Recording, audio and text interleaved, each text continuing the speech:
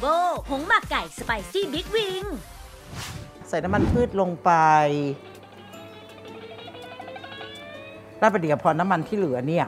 คุณผู้ชมอยากจะทำอะไรรับประทานก็รีบๆเลยนะ เพราะกลิ่นหอมของปลาเค็มเนี่ยมันเย้ายวนเหลือเกิน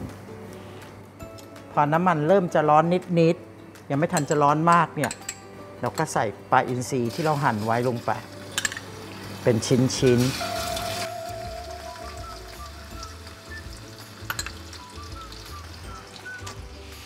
นี่แสดงว่าปลาอินทรีที่ได้มาวันนี้ดูสวย แต่เนื้อจะต้องเละแน่นอน เพราะลักษณะแบบนี้ ถ้าหากว่าจะทอดปลาอินทรีเป็นชิ้นๆแล้วไม่ให้เละเขามีเคล็ดลับนะคุณผู้ชมเอามะนาวแค่เม็ดออกแล้วก็บีบน้ำมะนาวใส่ลงไปแค่นี้จะทำให้ปลาอินทรีเป็นชิ้นสวยแล้วไม่เละนะอะเราจะใส่หมูสับสูตรของบ้านเราเนี่ยคือหมูสับที่ใช้ต้องติดมันเยอะหน่อย แล้วคุณก็ กระจายให้ปลาเค็มของเรา อยู่ ทั่วหมู อืมอะหลายคนบอกว่าเวลาทานปลาเค็มแล้วมีกลิ่น แบบบางคนชอบก็ชอบไปเลย บางคนรู้สึกว่า เออมันแบบมันคาวๆนิดนึง อันนี้ก็ถือว่าช่วยได้แล้วก็เพิ่มความหอมด้วยนะครับ ก็คือขิงซอย บ้านเราอะจะใส่ขิงซอยลงไปในการทอดหมูสับปลาเค็มด้วย ไม่รู้บ้านอื่นทำกันไหมแต่อยากให้เอาไปลองจัง เพราะมันหอมมากอืม ตามด้วยกระเทียมสับละเอียดนะครับอืมวันนี้เครื่องเยอะ บางคนก็ชอบนะ กับการใส่กระเทียมลงไป เพราะมันจะมีกลิ่นของกระเทียมที่สุกอยู่ในนั้นด้วย แต่สิ่งที่ขาดไม่ได้คือพริกขี้หนูกับพริกแห้งคุณเอ้ยไม่เข้าใจเหมือนกันว่าทำไมถึงต้องใส่แต่มันอร่อยมาก คุณเอ้ย อืมแต่อีกหนึ่งอย่างที่ต้องบอกเลยว่าเพิ่งค้นพบเมื่อไม่นานมานี้นะครับ มันอร่อยจริงๆกากหมู แหมมันฟังเสียง พอมันลงไปนะ แล้วมันจะเหมือนทอดอีกครั้งอะ มันจะหวีอะเด็กอ้วนเอ้ยไม่ใช่ครับเนี่ย ตัวเองอะ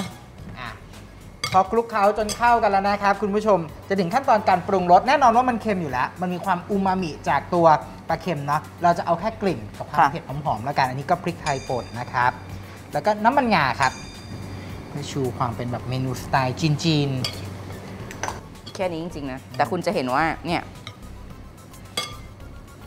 มันเกาะกันยาก เวลาทอดมันอาจจะแตก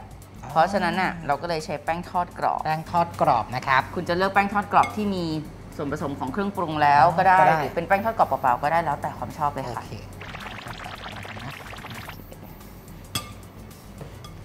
อืมพอมีแป้งปุ๊บนี่เขาก็จะเหมือนเป็นก้อนมากขึ้น เราเห็นปัจจุบันอะบางคนก็นิยมเอาหมูปลาเค็มแบบที่ไม่ใส่แป้งอะนะ ปั้นเป็นก้อนๆแล้วไปตากแดดเหมือนหมูแดดเดียวอะเฮ้ยทำได้ด้วยเหรอโอ้ยคนทำคนทำเยอะเลยตอนนี้แล้วก็ถึงเวลาก็เอาเก็บใส่กล่อง แล้วก็เอาไปทอดเวลาที่อยากกิน อันนั้นก็ได้เช่นกัน แต่ว่าคุณลองเอาสูตรของเราไปทำด้วยก็ได้นะ อร่อยไม่แพ้กันเลยอืมอะเข้ากันแล้วนะครับ เดี๋ยวเราจะนำกระทะขึ้นตั้งไฟ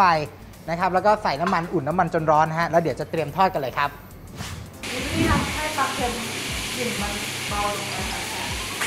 เหม็นว่างั้นเถอะ เหม็นแล้วกินทำไมก็ไม่ต้องกินจะไปกินอย่างอื่นอย่างอื่นก็กินอย่างอื่นก็เหม็น กินอาหารเม็ดค่ะเลือกเอาเลยค่ะรสอะไร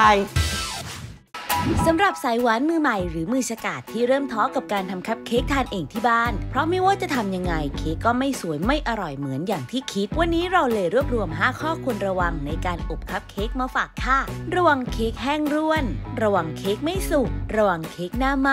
ระวังเค้กหดหรือล้นพิมพ์ ระวังเค้กไม่อร่อย แต่ถ้าใครไม่อยากยุ่งยาก วันนี้เราจัดมาให้พิเศษ